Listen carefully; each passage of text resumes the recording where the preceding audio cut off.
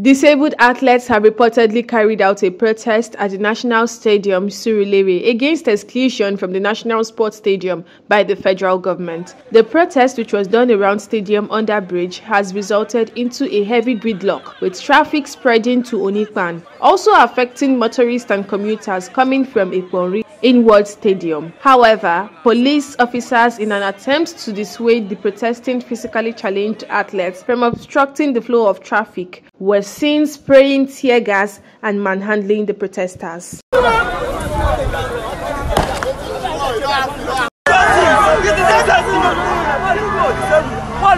Please subscribe to this channel, News Pop NG, for more updates. Do not forget to like and share this video, and please drop your comments down the comment section. I am Blessing Ezeja. Thanks for watching.